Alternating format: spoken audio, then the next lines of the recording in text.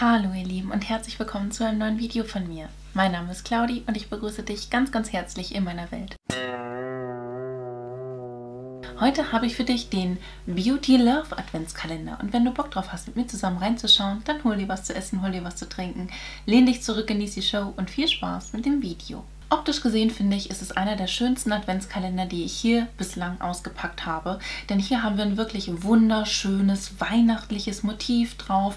Die einfach Winterlandschaft mit Schlittenfahren und da ist ein Hund drauf. So, wann? Deswegen ist es für mich einer der schönsten Adventskalender. Ähm, auch wegen dem Hund, vor allem wegen dem Hund. Ja, ich muss gestehen, wegen dem Hund vor allem, ja. Weil ich habe einen Hund. Ich bin äh, Team Hund und nicht Team Katze. Auf jeden Fall habe ich hier den Beauty Love The Natural Box Adventskalender, der äh, 79,95 kostet. Ich habe den auch mal unten in der Infobox verlinkt. Schaut da gerne einfach mal vorbei. Ähm, wenn ihr dort Adventskalender oder Produkte oder sonst irgendwas bestellt, denkt auf jeden Fall dran, dass ihr die Cashback-Geschichten halt auch irgendwie mit aktiviert, ne? Weil das gibt euch einfach bares Geld zurück. Auch da alles dazu in der Infobox. Da ist jetzt keine Kooperation von meiner Seite mit äh, Igral zum Beispiel. Ähm, das ist einfach nur, dass ich damals über Mama Co Beauty dort mich angemeldet habe und einfach jetzt gerade durch die ganzen Adventskalender oder jetzt kurz vor Weihnachten, Leute, kurz vor Black Friday, ähm, da kannst du richtig gut was zurückkriegen an Monedas. Und das ist nicht verkehrt, wenn man so viel Geld raushaut, wie ich aktuell. Auf jeden Fall, ja, 79,95 soll irgendwie 330 Euro Warenwert beinhalten. Und da bin ich extrem gespannt, was der Inhalt sein wird, denn da haben wir dieses Jahr keinen Spoiler auf der Homepage gehabt. Schauen wir mal rein. Oh mein Gott, wir haben hier auch tatsächlich drumherum überall Falala, Falala stehen. Und das finde ich ja schon mal großartig. Das Ganze startet mit Sassy Beauty oder Sassy Beauty Matte Perfecting Loose Powder with Shine Control Effect. Sehr interessant. Also quasi ein mattierendes Gesichtspuder, was sich im Übrigen super schwer anfühlt. Ich habe letztens für einen anderen Adventskalender ähm, Sassy Beauty recherchiert. Und irgendwie habe ich keine Preise dazu gefunden. Ich hoffe, dass ich hierzu einen Preis finde. Ansonsten muss ich hier auch wieder schätzen. Ähm, es ist ein Glastiegel, was man einfach bei Puder so selten hat. Und das sieht alles andere als matt aus. Egal. Ähm, ohne Tierversuche und so weiter und so fort. Hier haben wir 16,5 Gramm drin. Also das ist hochwertiger als äh, jedes Lancôme-Puder oder sonst irgendwas, was ich hier bislang hatte. Krass. It's the most wonderful time of the year. Die Nummer 2. Oh mein Gott, ich habe einen Ohrwurm. Unser erstes Füllprodukt fällt mir in die Hände. Äh, es ist offensichtlich von keiner Marke, das heißt, ich werde es einfach mal schätzen. Ich finde, die Pinzetten sind dieses Jahr, ja moin, das Füllprodukt des Jahres, oder? Also in, also wirklich. In so vielen Adventskalendern hatte ich Pinzetten drin. Ich habe es schon mal letztens gesagt, eine Ode an die Pinzetten bei uns im Haushalt sind schwarze Löcher, wo tatsächlich auch Pinzetten verschwinden. Und wir brauchen sie sehr häufig, also von daher. Ich finde es cool, dass wir die drin haben. Oh mein Gott, die Nummer 3 hat hier auch so, oh, so einen Nussknacker drauf, den man ausmalen kann, wenn man möchte. Und hier ist eine prima Ballerina drauf. Ist schon hübsch gemacht. Also das wirklich, das ist so ein geiler, optisch mega schöner Adventskalender. Und hier haben wir von Foamy die feste Gesichtsreinigung drin ähm, für normale bis trockene Haut, milde Reinigung mit Aloe Vera. Die habe ich auch schon mal verwendet und aufgebraucht und finde die eigentlich ganz gut. Das Einzige, was ich hier drin, äh, hier dran zu bemängeln habe, ist, du kannst sie halt nicht aufhängen oder so. Ne? Du hältst die ja an dem Produkt selber fest und ähm, ja, irgendwann ist es halt einfach nicht mehr vorhanden und du reibst dir nur noch mit so einem Ministück Seife übers Gesicht, wobei es gar keine Seife ist, aber trotzdem. Hat gut gereinigt und hat auch seinen Zweck ganz gut bei mir erfüllt. Rezept gebrannte Mandeln. Finde ich ganz schön cool auf der Nummer 4. Hier haben wir was zum Pumpen von Sukin. Ein Cleansing Gel. Okay, jetzt zwei Reinigungsviecher hintereinander. Kritisch. Äh, sensitive finde ich schon mal positiv für sensi sensible Haut halt. Ne? 125 Milliliter. Ja, gut. Ne? Kann man sich theoretisch dann eins von den beiden aussuchen, was man lieber verwenden möchte. Ja, hätte ich jetzt ein bisschen anders verteilt. Die Nummer 5. Hier haben wir auch was Klassisches drin. Zum einen klassisch im Adventskalender an sich, weil Lippenpflege, das ist halt jetzt einfach so ein Weihnachts- oder Winterprodukt. Ne? Und äh, dieses, äh, diese Be Natural Lip Balm Viecher finden wir jetzt auch öfters mal in Adventskalendern. Ähm, das ist jetzt Coconut Vanilla von der Duft- und Geschmacksrichtung her und ist ein Lippenbeißer. Kann man gut gebrauchen. Trockene Lippen, rissige Lippen. Ja, ist gut. Bislang hatten wir einen Gesichtsadventskalender und jetzt bin ich mal gespannt, ob Nikolaus das ändern wird oder der Weihnachtsmann. Ja, nö, aber ist jetzt auch nicht schlimm, weil von Avant einfach mal was drin zu haben ist hart, ne? Äh, Shea Butter, äh, Rice Bran, Bran? Rice Bran, Panthenol, Polydecene, 8 Radiance, 8 Hour Radiance Renewal Sleeping Mask. Ich glaube, das kostet 100 Tacken. 50 Milliliter haben wir hier drin enthalten. Also das ist quasi eine ähm, Nachtcreme.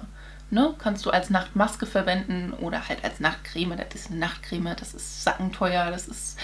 Ich glaube, das kostet so viel wie der ganze Adventskalender. Das heißt, du kaufst dieses Produkt und kriegst den ganzen anderen Gedönsen für Umme mit dabei.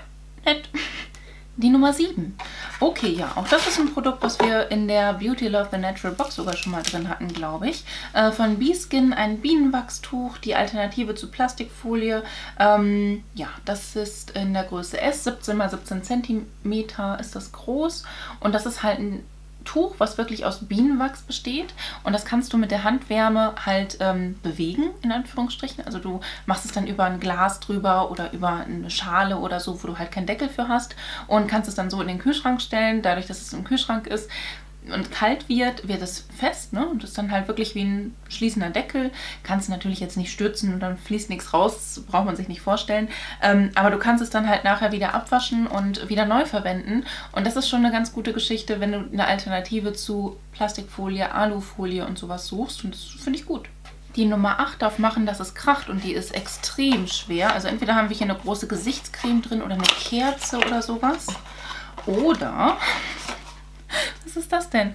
Geil. Heißer Bio-Honig mit Thymian. Heiß genießen in der Erkältungszeit. Interessant. Ideal als Heißgetränk.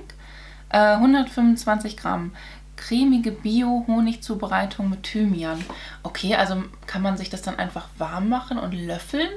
Ist es nicht dafür ein bisschen teuer? Ich weiß nicht, was das kostet. Ich glaube, die äh, Marke Naturbell Bees Nature, die gibt es mittlerweile auch, glaube ich. Ähm, da habe ich nämlich Manuka Honigbonbons auch schon von gesehen. Im äh, Rossmann oder DM, weiß ich gar nicht. Auf jeden Fall bin ich da mal sehr interessiert dran. Ich hatte letztens eine dicke, fette Erkältung. Da hätte ich das sehr gut gebrauchen können. Da habe ich mir tatsächlich den klassischen Honig aus dem Glas gegönnt. Aber sehr geil. Die Nummer 9 wird uns hoffentlich weiterhin erfreuen. Und hier haben wir was zum Naschen drin. Zwei Sachen zum Naschen. Sehr cool. Und zwar äh, Hans, Hanf und Honig. Kakaonips. Nur drei Zutaten. Aha. Das ist einmal hier ein so ein Riegel. Und den anderen, den ich hier habe, der ist original. Nur zwei Zutaten. Protein und Hanfsamen. Die genussvolle Hanfrevolution. Oh mein Gott. bin ich ja mal sehr gespannt, wie das dann schmeckt. Also ich habe Hanf schon in unterschiedlichsten Produkten zu mir nehmen dürfen. Ähm, also halt ne, Beauty-Produkte und äh, CBD-Öl und so ein Kram. Aber ich habe es halt noch nie aktiv gegessen. Bin ich sehr gespannt. Das ist ein Bio-Produkt und enthält jeweils 30 Gramm. Schauen wir mal. Weiter geht's mit der Nummer 10. Das ist eine Gesichtscreme und zwar, sehr interessant, Dermatyr Milchgesichtscreme. Reduziert das Spannungsgefühl, unterstützt die natürliche Regeneration der Gesichtshaut. Hydrokomplex, das ist ja mal interessant. Eine Milchgesichtscreme. Ist es dann von der Konsistenz her Milch oder ist es damit drin? Vor Frost und Hitze schützen. Frei von Paraben, Silikon, Paraffin und frei von Mikroplastik 50 Milliliter sehr, sehr interessant. Muss ich mir mal genauer angucken. Ähm, vor Frost und Hitze schützen. Auch ganz interessant, ne? Liest man selten auf Produkten. Ist auf jeden Fall so ein Plastiktiegel. Mal gucken. Die Nummer 11 hier haben wir von Skin Chemists London ein Advanced Collagen Facial Toner drin. Äh, 60 Milliliter mit Kollagen. Ist ja, also es ist ja so, ne? Je älter wir werden, und ich glaube ab 25 fängt das an, äh, desto mehr hört der das Gesicht auf, Kollagen selber wirklich so zu produzieren oder nicht mehr so in dem Maße, sodass man Falten bekommt. Und dann hilft es halt einfach, wenn man da von außen oder von innen nachhilft. Und äh, ja, dann haben wir hier einen Toner für. Und ein Toner ist eine ganz gute Geschichte. Das ist ja meistens so ein bisschen auch so hautausbalancierend und so weiter und bereitet einfach das Gesicht auf die nachfolgende Pflege vor, nach der Gesichtsreinigung. Finde ich cool, ich mag Toner. Halbzeit, die Nummer 12. Hier habe ich was von Mundmaski drin. Ich mag Mundmaski. Ähm, das hier ist die, das, das Vitamin, Vitamin-Infused Eye Serum. Richtig cool. Äh, 30 Milliliter sind hier drin enthalten und sowas kann man sich entweder anstelle von einer Augencreme aufgeben oder wenn man halt wirklich eine super gepflegte Augenpartie braucht, weil super trocken oder wie auch immer, dann macht man halt erst das drauf, lässt das kurz einwirken und macht darüber dann die reguläre Augencreme. Finde ich schön. Die Nummer 13 ist super leicht. Guck, hier haben wir einen Stift drin und zwar von Lavera, ein Soft Lip Liner in der Farbe Plum 04. Das ist äh, ein sehr, sehr dunkler Pflaumeton und schaut so aus. Interessant, ne? Also ich sammle ja immer noch so ein bisschen von der einen oder anderen Marke, dass ich dann ja auch vielleicht mal ein Full Face davon schminken kann. Ich bin auch sehr interessiert daran, mal ein Full Face Lavera zu schminken. Ähm, deswegen, mal gucken. Oh, auf der Nummer 14 ist ein süßer Schneemann drauf. Das mag ich. Ich mag Schneemänner. Ja, wirklich. Hm. Hier haben wir auch wieder was von Sukin drin. Und zwar Purely Ageless Rejuvenating Day Cream. Also quasi eine regenerierende Tagescreme. Ähm, und das äh, sind 20 Milliliter ist dann wieder Anti-Aging. Also den Adventskalender auf jeden Fall nicht unbedingt so für Teenager oder so holen. Ne? Also das ist eher etwas, was sich eher an die Frau oder den Mann, der schon ein bisschen betagter ist, würde ich mich als betagter bezeichnen? Nein, aber trotzdem. Wenn ich Michelle fragen würde, würde sie mir sagen, ich bin alt, aber nein. ähm, also für jemanden, der halt wirklich schon so ein bisschen auf äh, Anti-Aging achtet. Ne? Sonst ist der Adventskalender halt echt nicht so richtig, auch wenn es optischen hier passen würde. Aber ich bin schon beim Fazit. Ne? Wir machen weiter. Die Nummer 15. Für mich wäre das ja die perfekte Größe, um eine Kerze reinzupacken. Kaltporzellan selber machen. Okay, also das sind halt wirklich interessante Sachen, die hier auch draufstehen. Ne? Aber hier haben wir keine Kerze drin. Hier haben wir zwei Sachen drin. Sehr cool. Zuallererst von Finigrana äh, eine Aleppo-Seife aus reinem Olivenöl, 25 Gramm ja, sowas ist ja, glaube ich, irgendwie ne, sehr reinigend und so. Ich glaube, Aleppo-Seife kannst du halt sowohl für Gesicht als auch für Körper verwenden und für Hände und so weiter. Und es darf sich nur die Seife, Aleppo-Seife nennen, die wirklich in Aleppo auch hergestellt wird. Irgendwie so habe ich mal irgendwo gehört. Und äh, deswegen, ja, riecht auf jeden Fall sehr natürlich. Und dann haben wir hier noch eine ähm, Orange Limette Savon de Midi ja, mit äh, Karité-Butter und äh, Vegetal. Irgendwelche Wheel, Öle, äh, hier, äh, Öle, Veget, Ve weiß ich nicht. Feine Seifen aus Frankreich. Mhm. Ähm, ja, äh, wie viel Gramm? 100 Gramm sind hier drin enthalten und die riecht halt wirklich sehr, sehr zitrisch, ne? Sowas kann ich gut mir vorstellen, einfach im Badezimmer bei uns in der Seifenschale zu haben. Oder ich verwende sowas auch ganz gerne, um meine Pinsel zu reinigen, weil das sehr gut reinigt halt. Die Nummer 16 ist auch wieder sehr leicht. Oh, Banana Beauty äh, Get in Line Baby Basic Bitch. Das ist ein ganz cooler Eyeliner. Und äh, letztens hatte ich Mädelsabend und da habe ich einer Freundin von mir die sich einfach einen tiefschwarzen Eyeliner gewünscht hat, mein Basic Bitch Eyeliner geschenkt von Banana Beauty und äh, Karma bringt ihn halt immer wieder gerne zu mir zurück. Und das ist jetzt schon der zweite oder der dritte, den ich in den Händen halte, nachdem ich ihr den geschenkt habe, was ziemlich witzig ist. Aber ohne Witze, Leute, das ist ein ganz, ganz guter Eyeliner und der kostet ja 24,99, ne? Deswegen schon Hammer, dass es einfach mit drin ist. Und so kriegen wir auch irgendwann unsere 330 Euro Wert zusammen hier. Die Nummer 17. Christmas Loading steht hier drauf und hier haben eine Lidschattenpalette drin. Ich finde es klasse, wenn wir in Adventskalendern Lidschattenpaletten drin haben. Natürlich besitze ich eine ganze Ecke an Lidschattenpaletten, aber ich versuche das halt so zu beurteilen wie jemand, der den Adventskalender halt ganz fresh so auspackt und da würde ich mich einfach drüber freuen. Die müsste ich sogar da haben. Von Alverde Naturkosmetik in der Farbe 30 Rosy Favorites habe ich diese Lidschattenpalette hier drin und äh, ja, das ist halt einfach so eine klassische Alltagstöne ähm, und deswegen finde ich das echt schön, dass die mit drin ist. Herzlich willkommen in der Weihnachtswoche und hier steht drauf Trust the Magic of New Beginnings. Also du sollst der Magie von Neuanfängen vertrauen und ähm, trifft auf niemanden besser zu als auf mich aktuell. Also ja, safe Leute. Ähm, Hier habe ich von We Love ein Deodorant drin, das ist ein Deo-Stick. Lucious Lime, 65 Gramm, okay, nicht meine Duftrichtung. Ähm, aber ich finde es ziemlich cool, solche Deos, ne? Das sind so Sticks und das ist halt ohne Plastik. Du hast halt hier einfach diese Pappverpackung, ne?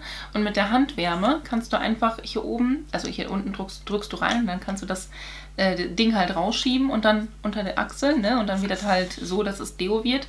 Aber ich mag halt keinen Limettenduft. Wow, die Nummer 19 ist ja mal äh, riesig. Was ist da drin? Irgendwas Großes? Ja, es wird gut ausgefüllt. Ist bestimmt ein Tee, oder? Ja, geil. Pucker, Wildapfel und Zimt. Ein Biofrüchtetee, äh, sonnendurchfluteter, warmherziger, äh, warmwürziger Obstgarten. 20 Teebeutel. Passt, definitiv. Ne? Also das ist äh, schön für, den, für die Adventszeit und wow, das riecht halt auch wirklich wie Glühwein, ne? nur halt ohne Alkohol. Mega cool.